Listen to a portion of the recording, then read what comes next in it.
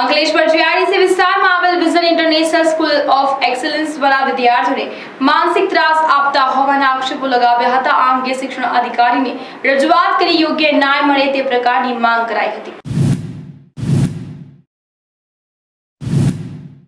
Ankleshwar GIDC વિસ્તારમાં આવેલ Vision International School of Excellence વિરુદ્ધ વાલીઓએ જિલ્લા શિક્ષણ અધિકારીને રજૂઆત કરી હતી.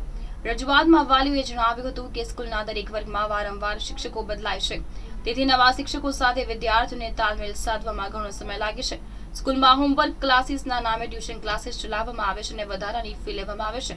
વધુમાં વાલીઓએ જણાવ્યા મુજબ કેન્ટીન બંધ હોય હોવા છતાં કેન્ટીન ફી લેવામાં આવે છે. તેમજ તાજેતરમાં ધોરણ નવમાં અભ્યાસ કરતા વિદ્યાર્થી સાથે એક સામાન્ય રિવ્યુ આપવાને લીધે સ્કૂલ મેનેજમેન્ટ દ્વારા થયેલ વિદ્યાર્થી સાથેના વર્તન મામલે સહિતના એકથી ચો પ્રશ્નોને લઈને વાલીઓએ સ્કૂલમાંથી વિદ્યાર્થીને વાલીઓને માનસિક હેરાનગતિ કરવામાં આવતા હોવાના આક્ષેપો સાથે જિલ્લા શિક્ષણ અધિકારીને રજૂઆત કરી યોગ્ય ન્યાય મળે તે પ્રકારની માંગ ઉચ્ચારી હતી.